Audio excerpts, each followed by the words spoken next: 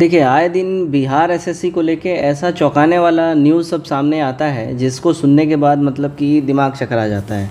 एक तो आठ साल के बाद बिहार एसएससी की ओर से वैकेंसी आया छः महीना लगा फॉर्म भराने में, और फिर उसके बाद इलेक्शन आ गया तो आचार संहिता को लेके एग्ज़ाम नहीं हुआ, फिर उसके बाद सिक्सटी फाइव परसेंट रिजर्वेशन की वजह से पूरा मामला फंसा, और उसके बाद ये जब सिस्टम सब कुछ हो गया तो फिर आयोग ने सोचा अच्छा तो आयोग बोला कि देखो, अब हम लेंगे ऑनलाइन परीक्षा, जो कि एक तरीके से अच्छा माना गया। ठीक है कि अच्छा है कि ऑनलाइन परीक्षा में पारदर्शिता बनी रहेगी। लेकिन अब डिमांड ऐसा उठ रहा है और छात्रों की तरफ़ से ही उठ रहा है। देखिए, आयोग का इसमें कोई हाथ नहीं है गवर्नमेंट का इसमें हाथ नहीं है। छात्रों की ओर से ही डिमांड उठ रहा है कि परीक्षा ऑफलाइन होनी चाहिए ऑनलाइन नहीं होनी चाहिए। तर्क अपना दिया जा रहा है। आपको हम वीडियो दिखाएँगे, ठीक है? जिसमें छात्र नेता दिलीप कुमार और साथ में और भी जो संबंधित छात्र हैं, उनके साथ हैं।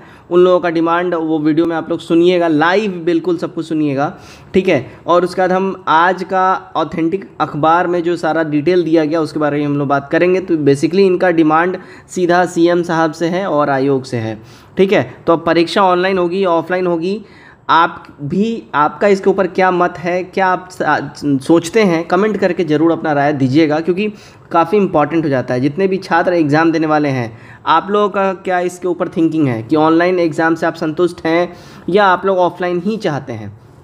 ऑफलाइन परीक्षा में भी छात्र नेता की ओर से क्लियर डिमांड ये हो रही है कि भाई परीक्षा अगर हो ऑफलाइन में ही हो तो जल्दी जल्दी डेट दिया जाए। दूसरा हमको ओ एम आर का कार्बन कॉपी मिलना चाहिए, साथ ही साथ क्वेश्चन पेपर मिलना चाहिए, ठीक है?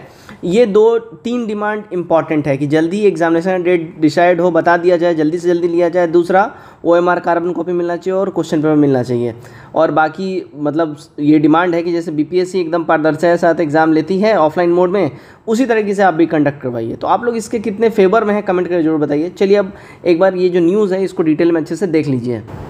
तो देखिएगा, ये जागरण का आज का न्यूज़ है। बैठक में शामिल छात्र नेता, और नेतागण, ठीक है? इसको हम लोग डिटेल में देख लेते हैं हम लोग। ठीक है? चलिए, देखिएगा। तो बिहार एसएससी इंटर स्तरीय परीक्षा ऑफलाइन कराने की मांग को लेकर ये बैठक बेसिकली हुई थी और इसका हम ऑथेंटिक पूरा वीडियो दिखा देंगे। आप लोग वीडियो में भी पूरा अच्छा से बात सुन लीजिएगा। वीडियो ज़्यादा बड़ा नहीं है, एक डेढ़ मिनट का वीडियो है, देख लीजिएगा, ठीक है? देखिएगा, जागरण संवाददाता दरभंगा तो बिहार कर्मचारी चयन आयोग की ओर से पिछले वर्ष सेप्टेम्बर के महीने में लगभग तेरह हज़ार स्तरीय जो है इंटर स्तरीय पदों के लिए द्वितीय इंटर स्तरीय बहाली आई थी, ठीक है? इसमें 26 लाख से अधिक अभ्यर्थियों ने फॉर्म भरा था, लेकिन अभी एक साल बाद भी परीक्षा की तिथि घोषित नहीं हुई है। इधर हाल ही में बिहार एसएससी ने परीक्षा ऑनलाइन कराने का भी नोटिस जारी कर दिया है। ऑब्वियसली आप सबने देखा है वो नोटिस। जबकि पिछले जबकि पहले परीक्षा ऑनलाइन ऑफलाइन होती थी। यहाँ पे टाइपिंग मिस्टेक है, ठीक है? जबकि पहले परीक्षा जो है, ऑफलाइन हुआ करती थी। परीक्षा तिथि घोषित नहीं की गई है।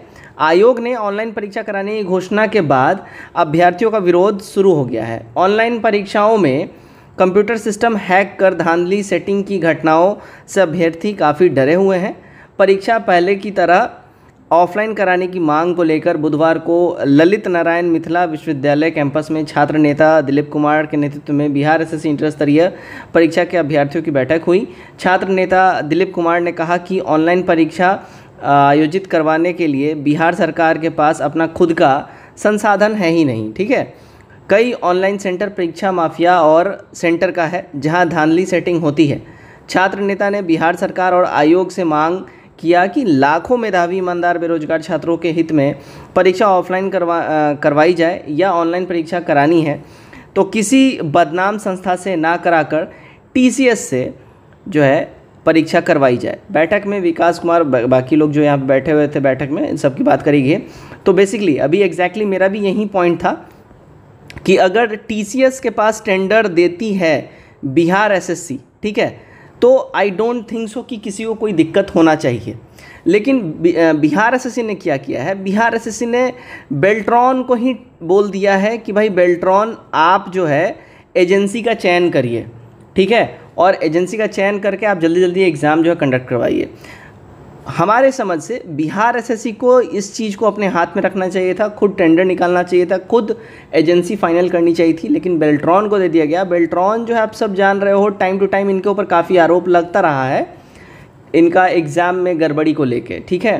फ़िलहाल बेल्ट्रॉन का एग्ज़ाम जो है, देखिए, पंद्रह सेप्टेम्बर से एग्ज़ाम है डी वाला, और उसका एग्ज़ाम जो है, देखिए टीसीएस ही ले रहा है, ये भी बड़ी बात है।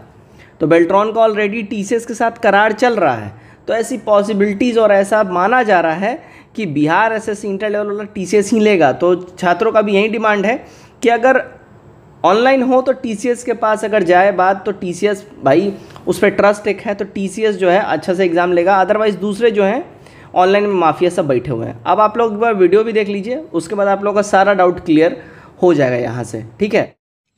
नमस्कार दोस्तों, मैं दिलीप कुमार। अभी हम मौजूद हैं दरभंगा के राज मैदान में। जहाँ बीएसएससी द्वितीय इंटर स्तरीय के परीक्षार्थी पढ़ाई करते हैं यहाँ आकर सुबह में और शाम में, आप देख सकते हैं ये सभी बीएसएससी द्वितीय इंटर स्तरीय के अभ्यर्थी हैं और इनका जो दर्द है, यहाँ आए हैं, हम मिले हैं इन लोगों से तो इनका दर्द झलक रहा है कि बीएसएससी द्वितीय इंटर स्तरीय जो ऑनलाइन परीक्षा होने जा रही है, उसको लेकर इन लोगों के मन में काफ़ी चिंताएँ हैं। धांधली सेटिंग को लेकर ये लोग डरे हुए हैं, सहमे हुए हैं और सरकार से और बीएसएससी से ये मांग कर रहे हैं कि ऑफलाइन परीक्षा ली जाए। जैसे पहले ली जाती थी, ऑफलाइन परीक्षा होनी चाहिए क्योंकि ऑनलाइन परीक्षा की व्यवस्था बिहार सरकार के पास नहीं है। तो अगर ऑनलाइन परीक्षा होती है तो निश्चित रूप से ये प्राइवेट एजेंसी को दिया जाएगा, जहाँ खुलेआम धांधली सेटिंग होती है, और पटना के कुछ सेंटर, दरभंगा के, मुजफ्फरपुर के और बिहार के अलग अलग जिलों के, छपरा हो, गया हो, ऑनलाइन सेंटर में खुलेआम धांधली होती है। जैसा कि पिछले साल भी एस में खुलकर सामने आया, इस साल भी एस में खुलकर बातें सामने आई, और अभी जो बातें सामने आई थी कि बेल्ट्रॉन को दिया जा रहा है परीक्षा कराने के लिए, और बेल्ट्रॉन का मतलब ही है धांधली सेटिंग फर्जीवाड़ा पैसा वसूली गैंग। और बेल्ट्रॉन को परीक्षा कंडक्ट करवाने की जिम्मेवारी अगर दी जा रही है, अगर ये बात सही है तो फिर तो इसका मतलब हुआ कि बीएसएससी द्वितीय इंटर स्तरीय में परीक्षा देने का कोई मतलब ही नहीं रह जाएगा मेधावी स्टूडेंट्स के लिए, क्योंकि खुलेआम बिल्ट्रॉन के द्वारा फ़ोन करके पैसे की मांग की जाती है, चाहे वो एसटीईटी का मामला हो या कोई और परीक्षा का मामला हो। तो इसलिए ये जो बी एस द्वितीय इंटर स्तरीय के अभ्यर्थी हैं, वो काफ़ी डरे सहमे हैं और चिंतित है कि ऑनलाइन परीक्षा में हम लोगों का क्या होगा, पढ़ाई करने से क्या होगा जब धांधली सेटिंग ही हो जाएगी। और इसलिए हम भी सरकार से मांग कर रहे हैं, नीतीश कुमार जी से मांग कर रहे हैं और बीएसएससी से मांग कर रहे हैं कि बीएसएससी द्वितीय इंटर स्तरीय की परीक्षा ऑफलाइन कराई जाए, जैसे कि पहले होता था।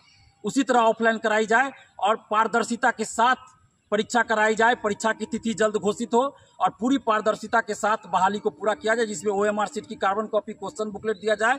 परीक्षा समाप्ति के बाद अभ्यर्थियों को और परीक्षा के बाद आंसर की जारी हो। जब रिज़ल्ट आए तो कटअप सभी का मार्क्स जारी होना चाहिए। ये एकदम समझिए कि बहुत आवश्यक है। और साथ में अगर ऑनलाइन भी परीक्षा अगर हो रही है, हालाँकि